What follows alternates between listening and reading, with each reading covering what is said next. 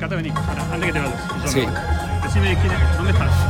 Estoy en el Teatro Colón ensayando Connected, que es un concierto sinfónico de música electrónica que estrenamos esta noche a las 7 de la tarde y después tres shows más acá en el teatro y después hacemos una versión gratuita al aire libre para todo el mundo el 3 de marzo en Avenida, Avenida Figueroa Corta y Dorrego. Tenés el cassette casi puesto, decí. Viste, ya- ¿Quién toca como vos? A ver, mostrá. Este con Paul Bounder, Hola, Paul. Hola, mitad de Sound Exile, gran amigo y colaborador.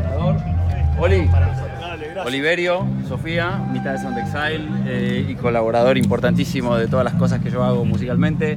El famosísimo Leandro Fresco, que todos conocen y está con nosotros en el escenario. Allá está Zucker practicando con su bajo. Y por ahí está dando vuelta Mercurio, Richard Coleman, Oriana Favora, que es una soprana del Colón. Ahí está Josefina Silveira, que también va a cantar. Y bueno, viene Nick Warren de Inglaterra, que ya Así que estamos preparadísimos. Invitados especiales. Hay muchísimos invitados, una orquesta con 50 músicos y la dirección general de musical y los arreglos sinfónicos de Gerardo Gardelín, un fenómeno que ya nos hicimos tan amigos de estar todo el día mandándonos música, tomá, venís. Así que empieza hoy a las 7 de la tarde, la primera función, la segunda a las 10, mañana a las 7, el lunes a las 7 y el 3 de marzo a las 22 horas. ¿Cuántos temas interpretas? 19. ¿Por qué los elegiste?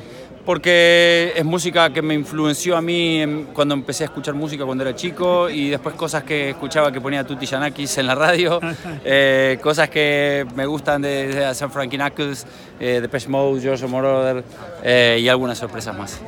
Pero básicamente clásicos de música electrónica. ¿Es un sueño hecho realidad?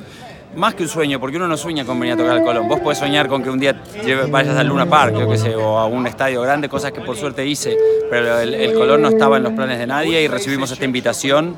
Obviamente que la, acepta- la aceptamos con muchísima alegría, hicimos todo un set especialmente pensado para acá, no es para bailar, es para escuchar.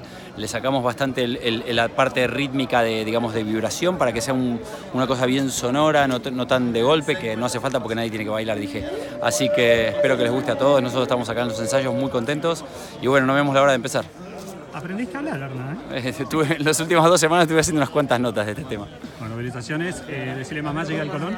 Mamá, llegué al Colón y por supuesto está hoy en la primera fila.